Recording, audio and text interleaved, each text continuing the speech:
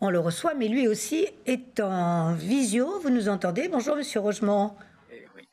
Je vous entends. Est-ce que vous m'entendez? Mais tout à fait. Bienvenue à vous. On va, avec vous, euh, comme nous l'avons fait tout à l'heure avec euh, votre collègue Sebiessi, parler de ce que vous avez retenu de ce congrès important qui continue donc aujourd'hui avec le congrès digital pour ces deux journées. Auparavant, tenez, on va lancer un petit film qui a été préparé euh, pour, euh, pour lancer notre, notre échange. Le HLM, un atout social ou économique? On le regarde, il fait moins de trois minutes.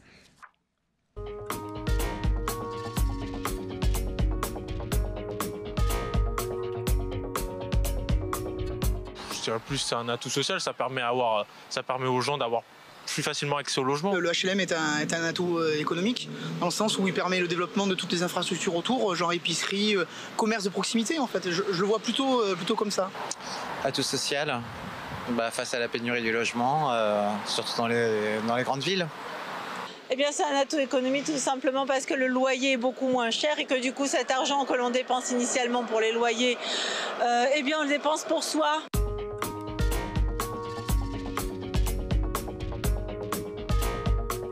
Les HLM, c'est un atout social et un atout économique.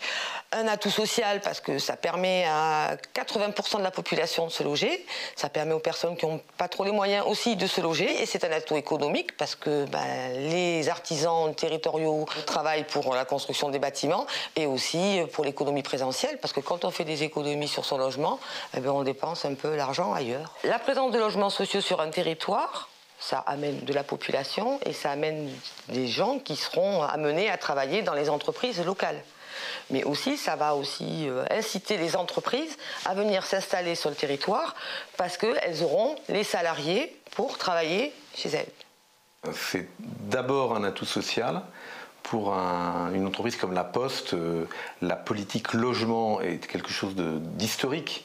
C'est un des axes euh, fondamentaux de, notre politique sociale. Les salariés de la Poste sont euh, pour beaucoup des salariés modestes euh, et donc le coût d'un logement est très important et accéder à un logement à un prix abordable est très important pour l'équilibre budgétaire de la famille. Et puis bien évidemment c'est un atout économique pour l'entreprise La Poste qui investit beaucoup dans le logement social pour faciliter la construction de logements additionnels, favoriser des réservations pour, pour ses agents sur les territoires tendus là où l'accès au logement est le plus difficile et, où les loyers sont les plus élevés. Or, ce sont des, ter des territoires où nous devons mener chaque jour nos missions de, service public euh, et où euh, l'accès au logement est, une condition essentielle pour euh, recruter et fidéliser les collaborateurs. Alors, les logements HLM, euh, d'après les, travaux qu'on conduit, évidemment, ils ont une valeur euh, économique pour leur, leurs habitants. Mais euh, au-delà de ça, finalement, ce, qui ressort de nos enquêtes, c'est qu'il y a aussi une valeur, je dirais, sociale ou socio-économique. Quand on habite un logement HLM, l'entretien de l'immeuble, l'entretien du logement, le paiement du loyer ou d'autres choses sont accompagnés d'une prise en compte par l'organisme de, de, leur dimension plus personnelle, hein, de leur d'un besoin en quelque sorte du d'humaniser la relation, de la socialiser au maximum dans la relation avec l'organisme HLM.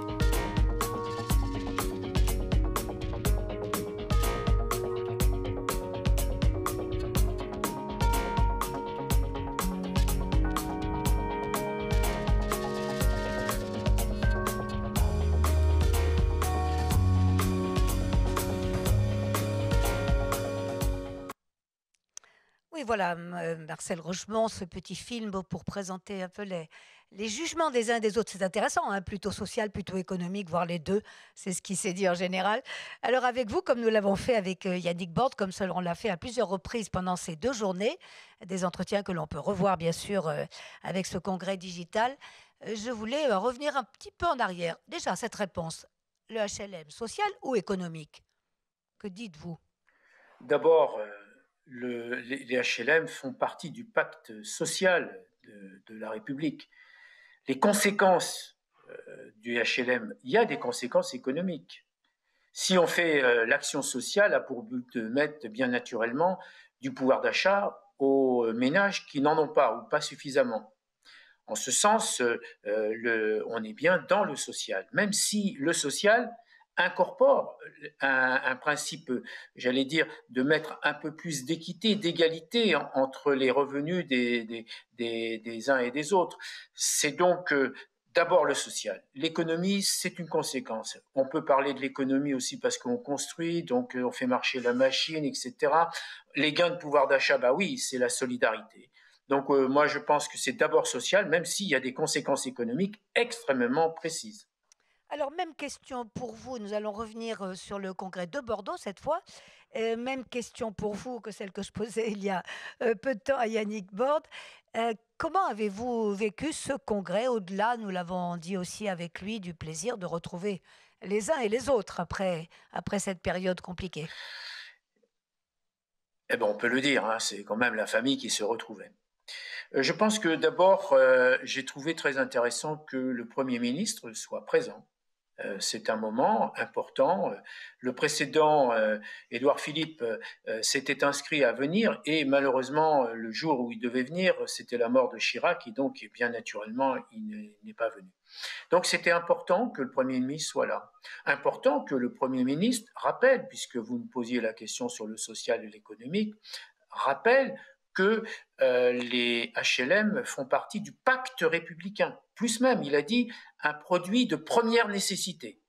Bon, c'est évident que nous attendions à partir du, du, euh, à partir du moment où le Premier ministre parlait de produits de première nécessité, bien naturellement, nous pensions qu'il allait annoncer la TVA 5,5 sur le logement, sur l'ensemble du logement HLM. Telle n'a pas été la situation, c'est un peu dommage. Il n'a pas été jusqu'au bout. Mais non, c'est dommage, mais ça ne veut pas dire que la question n'est pas, euh, présente. Donc ça, c'est des, des, éléments positifs. Moi, euh, euh, je, pense que le moment le plus important a été effectivement le discours du Premier ministre. Car de fait, après la déclaration de principe, tout le reste de son discours n'intéressait pas directement le logement social ça intéressait les maires bâtisseurs, ça intéressait, euh, je ne sais pas, euh, le, logement locatif intermédiaire, etc. Mais, mais, mais pas les, PLI, pas les PLUS, pas directement euh, les, HLM. Et donc, c'est un, regret. Et, je pense que ça dit quelque chose qui n'est pas très agréable pour le monde HLM. J'aimerais revenir sur un autre moment. Euh, nous avons euh, euh, parlé bien sûr du discours du Premier ministre et de sa venue. Un autre, enfin de l'importance de sa venue. Un autre moment qui me semble très significatif, c'est dans le discours d'Emmanuel Cos. Je parle du discours de clôture.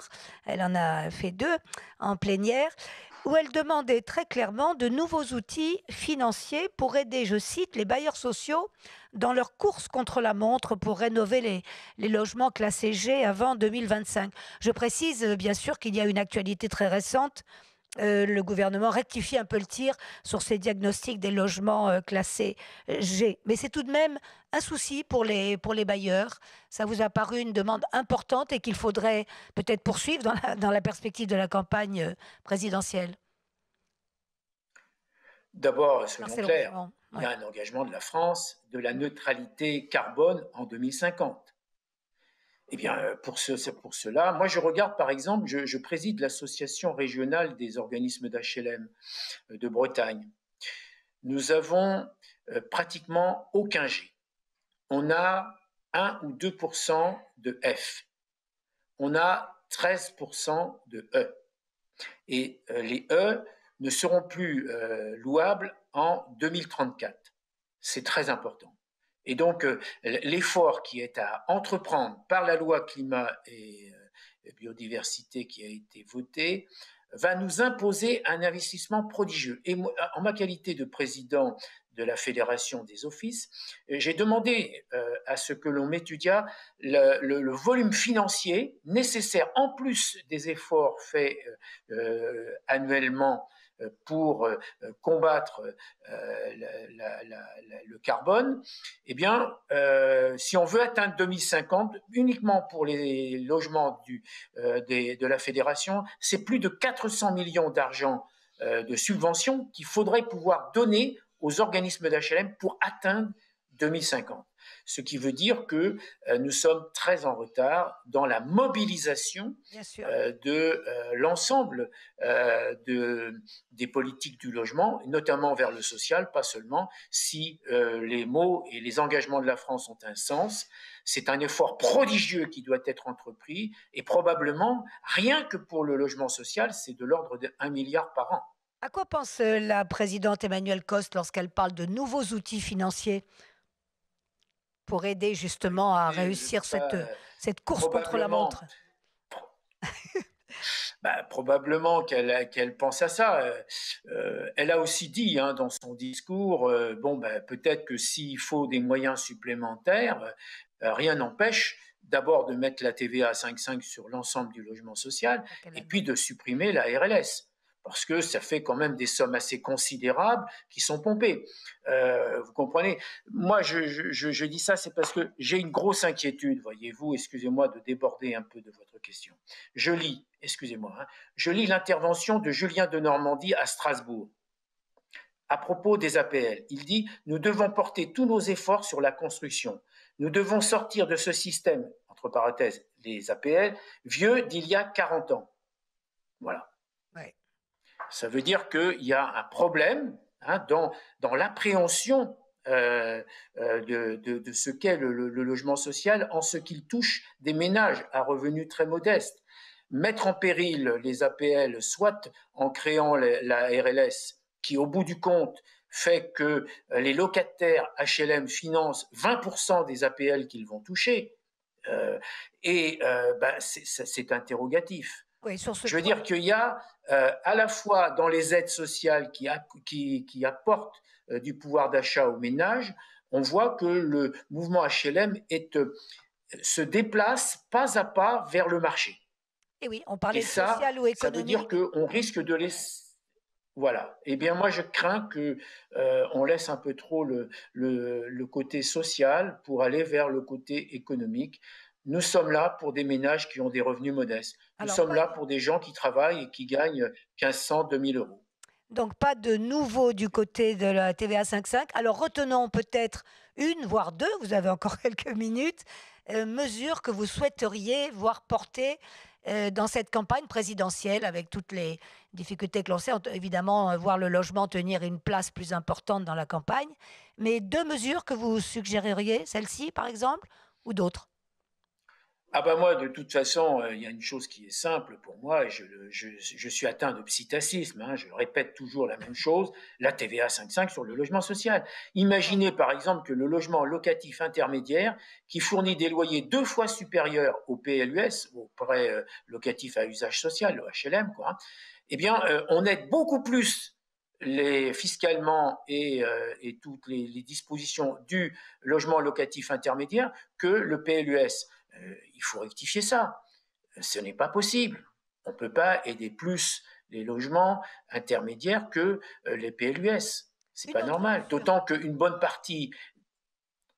La deuxième mesure qu'il y a, c'est le, les APL. Moi, je suis, j'ai la grosse crainte que j'ai, c'est que, euh, voilà, il faut sauver les APL. Il ne faut pas que les APL rentrent dans le revenu universel d'activité qui a été proposé et qui dort à côté de nous et qui peut revenir euh, d'un jour à l'autre. Donc, c'est les deux mesures que je voudrais dire. La, la, reconnaissance du logement social produit de première nécessité avec une TVA 5,5 et attention les APL, il ne faut pas les tuer. C'est la prestation euh, familiale qui est la plus redistributive de l'ensemble des, prestations euh, qui sont euh, données. Donc, sauvons les APL réellement, supprimons la RLS, voilà. Avez-vous le sentiment, et c'est ma toute dernière question, vous avez moins d'une minute comme on dit, Marcel Rougemont, que vous partez d'un front uni, les bailleurs sociaux et le monde du logement sur ces deux, de sujets, et peut-être même plus largement sur vos, vos désirs dans cette campagne présidentielle? Je pense que, je pense que la, la, volonté hein, de, faire en sorte que euh, cette question du logement, qui est somme toute très discrète hein, dans les campagnes présidentielles, eh bien, essayer de, porter un peu un message par rapport aux ménages les plus en difficulté, les travailleurs clés, les travailleurs indispensables, ceux qui gagnent moins de, de 2000 euros par mois et que nous logeons dans le logement HLM, euh, c'est à eux que je pense. Et je souhaite que euh, dans le cadre de la campagne présidentielle, on songe aussi à ces ménages qui sont parfois dans la difficulté. Eh bien, merci, merci infiniment, Marcel Rochemont. Vous êtes euh, chez vous, je crois, et on vous entend parfaitement. On pourra revoir euh, cette séquence comme on le souhaite. Merci et bonne fin de journée.